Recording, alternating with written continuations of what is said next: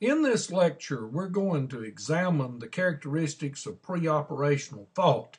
And uh, in this, we shall examine four major characteristics, and hopefully I'll be able to share several videos with you that might serve to make this a little bit more understandable.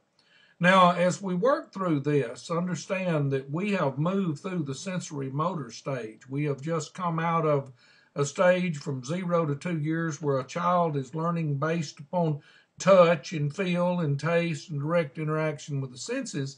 And now we're moving into a representative form where the child can represent in the mind certain concepts and ideas. Now, the four things that we're going to examine, or the four main characteristics, will be things that limit the development of pure concrete operational thought. So bear with us as we go through these four, four characteristics. The first of these uh, major characteristics which limit the child's progress onto the concrete stage uh, is that of egocentrism. Now, we've examined egocentrism and we know that that is basically translated to self-centeredness. Now, self-centeredness has a negative connotation and it probably should when we're dealing with adults, but remember that this is part of a child's natural stage of development. As the child progresses beyond egocentrism, then the child begins to interact with others. Now, the pre-operational child really doesn't uh, reflect on or think about his own thoughts. Uh, he's never really motivated to question his thinking about uh, how others may feel about his thoughts.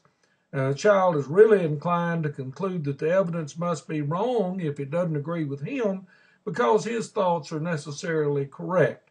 Now, when one operates in that frame of operation, then one has great difficulty in interacting and, and uh, socializing with others.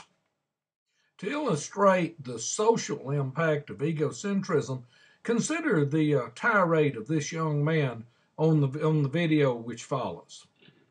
Yeah. What the heck is that? oh, I don't get books. That's not toys. That's books. I don't get books for Christmas. What the heck is that? I don't get books. That's my toy for. I don't get books for Christmas. You don't get books for Christmas? No, I hate it. You hate books for Christmas? Yeah, pooh. Well, most of you out there that are parents just lost it over that. The, the problem with that behavior is relatively obvious. It is an egocentric behavior. The, the real difficulty is not the, the behavior itself, which is a natural part of development, but the age of the child exhibiting it. Well, another one of the major characteristics of the pre-operational stage which hinder the development or the onset of uh, the concrete uh, stage really relates to that of transformational reasoning. Now, when you think about transformation, what you're talking about is moving from one element to another, perhaps in a sequence. Uh, children in the pre-operational stage may view elements of a sequence, but sometimes not be able to anticipate how one element is going to transition into another. Now, after we go into the transformational reasoning stage, the next is that of centration. Centration really isn't a very difficult concept. Uh, centration really refers to the tendency to look at the total without seeing the parts, might be a way of saying that.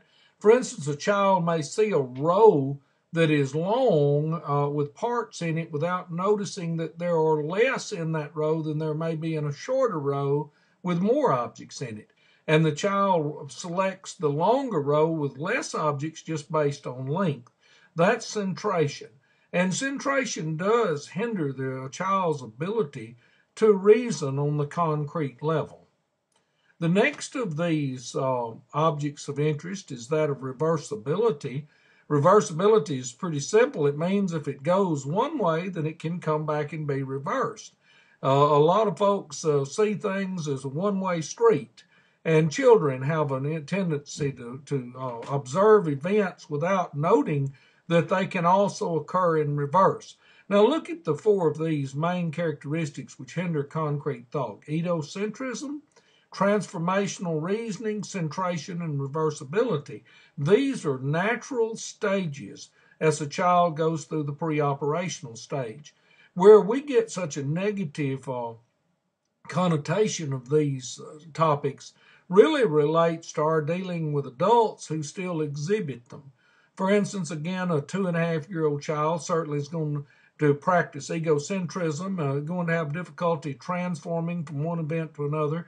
Uh, and centration may look at the whole without seeing the parts, and reversibility not be able to take something that goes from point A to point B back from point B to point A.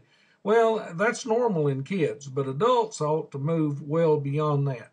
These four major characteristics hinder hinder the development of concrete uh, operational thought.